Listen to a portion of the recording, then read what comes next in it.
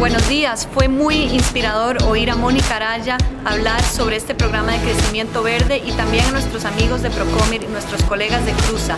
Fue realmente importante entender lo que significa este concurso y la gran oportunidad que presenta. Muchas gracias Procomer y Cruza. Adelante.